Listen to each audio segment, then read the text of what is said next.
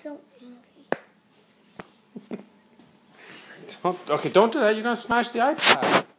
Then I'll be angry.